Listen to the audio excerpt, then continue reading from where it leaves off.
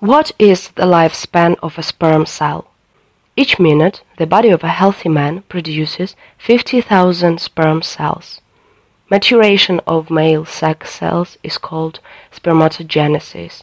It occurs in the seminiferous tubules that compose 89% of the scrotum of a mature man. From the onset to maturity, a male sex cell undergoes the process of formation during 75 days in the testicles and 12 days in epididymis. In total, it lasts for almost three months. Only after these, sperm cells are ready to start a long way to the seminal vesicles and then to the prostate gland. Mature sex cells accumulate in epididymis of a testicle, but not for too long. Without propagation, the lifespan of a sperm cell is no more than a month.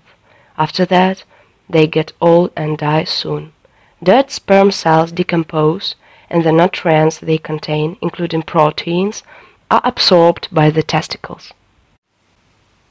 What is the lifespan of sperm in a female genital tract? In a supportive environment, sperm cells can live up to five days. Sometimes it is even possible to find active sperm cells in six or even eight days. The more watery cervical mucus is, the longer sperm cell life is. What is the lifespan of an egg cell? An egg cell lives for the period of 12 hours averagely. To calculate dangerous days, the lifetime of an egg cell is estimated as 24 hours. How long do sperm cells live at liberty outside the body? Male sex cells die very quickly outside the human body.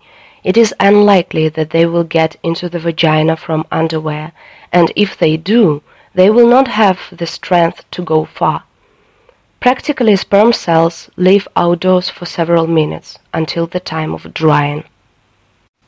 Superstar team Cowper's gland, female analog is Bartholin glands, produces a strong alkaline liquid which is used, first, to wet the place of contact of the genital organs, second, to preliminary wash the entire path of sperm movement. It is known that sperm cells die quickly in the acidic environment of the vagina, but this fluid contains several thousand sperm cells. There is a theory of a superstar team designed to win the race. Note that all the above mentioned preparation takes place long before the orgasm of a man. Therefore, sometimes an interrupted sexual intercourse does not give the desired result to a surprise of future moms and dads. To stay tuned in all medical news, subscribe to our channel.